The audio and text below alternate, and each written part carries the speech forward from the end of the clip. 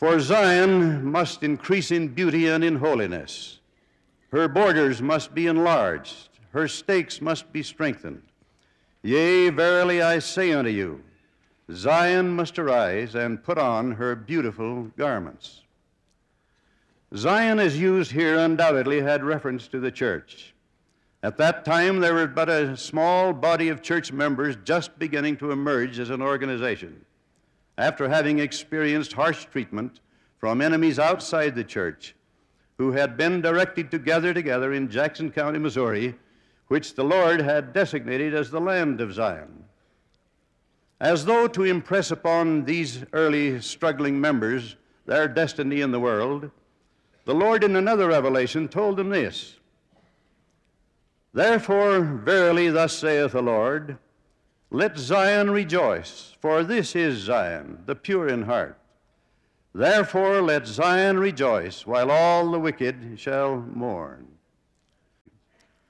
The borders of Zion, where the righteous and pure in heart may dwell, must now begin to be enlarged. The stakes of Zion must be strengthened. All this so that Zion may arise and shine by becoming increasingly diligent in carrying out the plan of salvation throughout the world. While the church was in its infancy, the Lord pointed to a time when those early gathering places would not have room for all who would be gathered, for reasons for which he declared that his church should be united. Here are his words For thus shall my church be called in the last days even the church of Jesus Christ of Latter day Saints.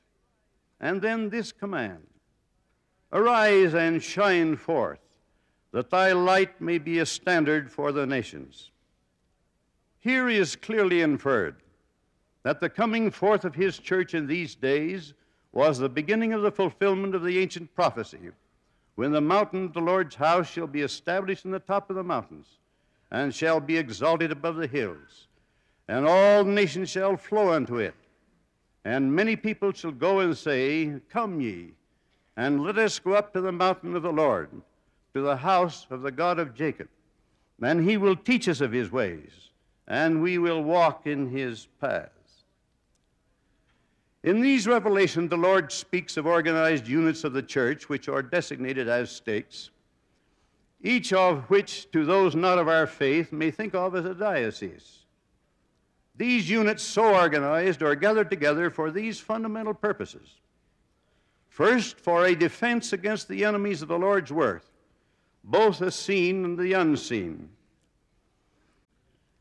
These organizations were to be, as stated in this same revelation, as a refuge from the storm and from wrath when it shall be poured out without mixture upon the whole earth.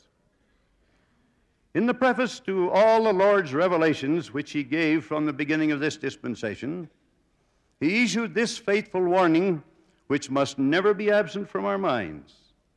This prophetic warning was uh, of eight, in 1831 was given as the Lord declared, so that all men shall know that the day speedily cometh. The hour is not yet, but is nigh at hand, when peace shall be taken from the earth and the devil shall have power over his own dominion.